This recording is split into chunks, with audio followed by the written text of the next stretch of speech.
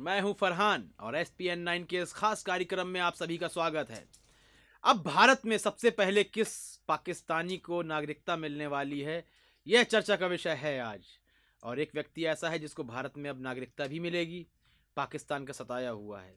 जी हाँ हम बात कर रहे हैं मशहूर क्रिकेटर, पाकिस्तान के लेग स्पिनर हैं, बॉलर हैं, वह दानिश कनेरिया हैं। हम उनके संबंध में बात कर रहे हैं। अभी बीते दिनों उनका एक बयान आया कि उन्हें पाकिस्तान में उनका दुर्व्यवहार होता था। खुद पाकिस्तानी टीम के क्रिकेटर, खिलाड़ी भी उनके साथ अभद्र व्यवहार करते थे, दुर्व्यवहार करते थे। यह घटना इसलिए हम लेकर आए हैं सामने, क्योंकि यह कहीं ना कहीं नागरिकता संशोधन कानून से घटना जुड़ रही है। जिस तरह हमने देखा, प्रधानमंत्री नरेंद्र मोदी हो या भारतीय जनता पार्टी का कोई भी नेता हो, उन्होंने कहा कि अफ़गानिस्तान में, पाकिस्तान में और बांग्लादेश में अल्पसंख्यकों के साथ दुर्व्यवहार किया जाता है।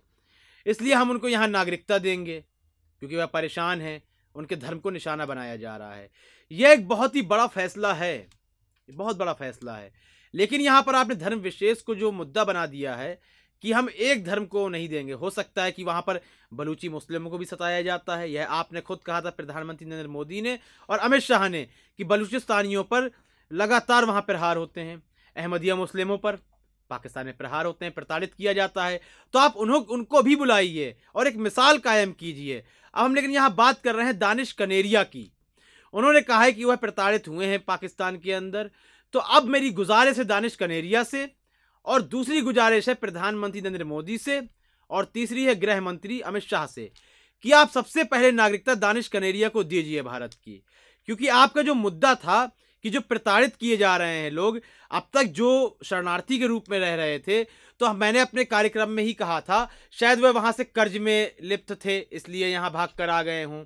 या फिर जुआ, नशा, संपत्ति गंवा चुके हैं, कुछ बचा नहीं है, नौकरी के अवसर प्राप्त नहीं हो रहे हैं, गरीबी का, की चरम सीमा है, इसलिए आ गए होंगे। यह मैंने अपने कार्यक्रम में कहा था। और आप खुद भी देखेंगे, शरणार्थी के रूप में कोई पूंजीपति नहीं रह रहा होगा। एक बहुत ही निम्न स्तर का गरीब व्यक्ति होगा, जो अपनी देश की सरहद को पार करके दूसरे देश में मजदूरों की भांति रह रहा होगा। तो आप खुद समझ सकते हैं इस बात को। लेकिन यहाँ मुद्दा है दानिश कनेरिया। अब तक किसी की बात सामने नहीं आई थी।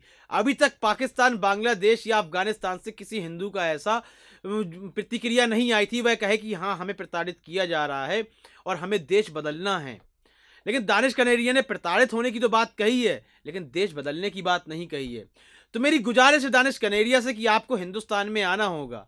अब आपको भी हमारी तरह भारतीय बनना होगा।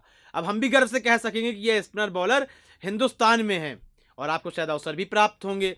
और भारतीय जनता पार्टी की सरकार और भारत की सरकार, क्या आप दानिश कनेरिया को नागरिकता देगी?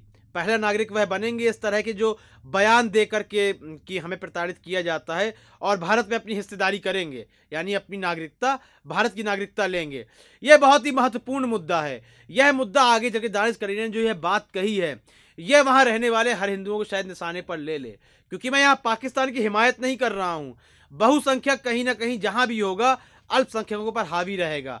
चाहे पाकिस्तान पर मुसलमानों का हिंदुओं पर हावी होना हो, या हिंदुस्तान में मुसलमानों पर हिंदुओं का हावी होना हो, वहाँ मुसलमान हिंदुओं पर हावी होते होंगे। मैं इस बात को नकारता नहीं हूँ। जिस तरह यहाँ पर एक, मैं सारे हिंदुओं की नहीं कह रहा हूँ ना, वहाँ सारे मुसलमानों को कह रहा हूँ, एक समाज जो असंतोष फैलाना चाहता है, राजनीतिक रोटियाँ सेकना चाहता है वहाँ यहाँ मुसलमानों पर वह हावी होता है, वहाँ वह हिंदुओं पर हावी होता होगा। बिल्कुल इस बात को नकार नहीं रहा हूँ। लेकिन दानिश कनेरिया के इस बयान के बाद क्या इस तरह की घटनाएँ कहीं ना बढ़ जाएँ?